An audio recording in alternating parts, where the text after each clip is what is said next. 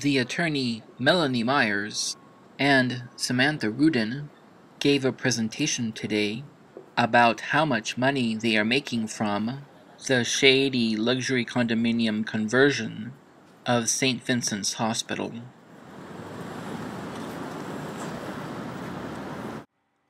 After Sarge Shriver left politics, he practiced law with a law firm that eventually bore his name, Fried, Frank, Harris, Shriver, and Jacobson.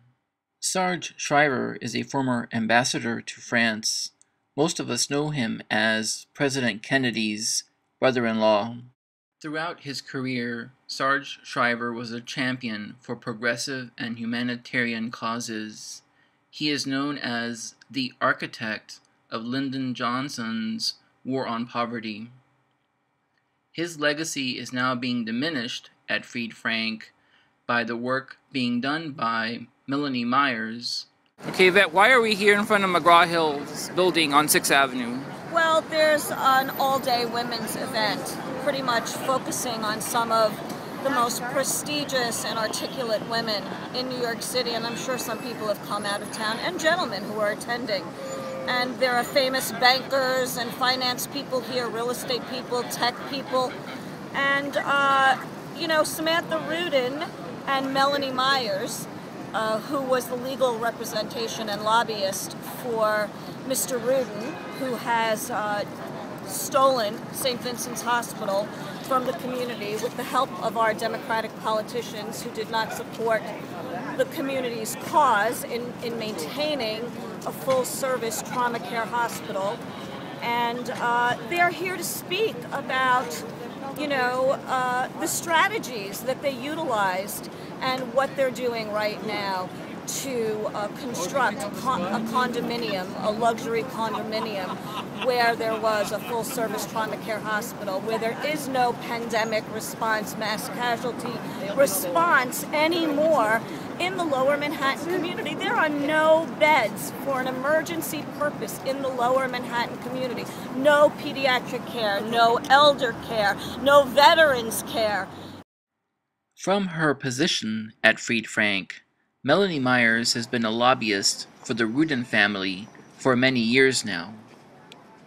They paid pennies on the dollar to buy St. Vincent's Hospital and are now converting it into a billion dollar luxury condominium and townhouse complex.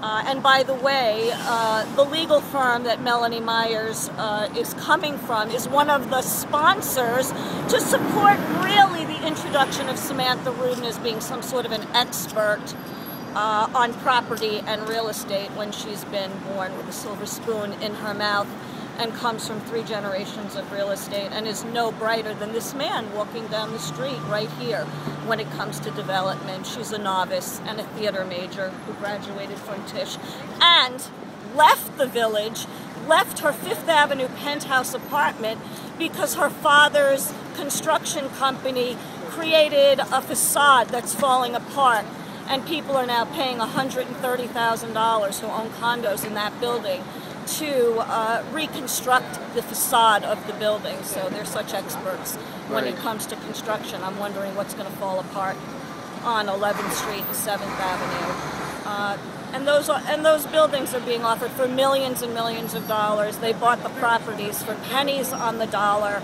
and it's just astounding to me that everyone's going to think that uh, these buildings were abandoned when in fact corruption took place. People never went to jail. There was never an investigative uh, opportunity presented to the community. There was no foil, even though we fought for it. There are 10,000 names on a list still against this hospital being dismantled. And people are still looking for jobs, and people still don't know about their pensions and their insurance and it's just disgusting. So, whatever's being presented here is totally absurd, and all of these experts are going to believe what they hear. And it's distorted and misrepresentational of our community. Right. Thank you very much.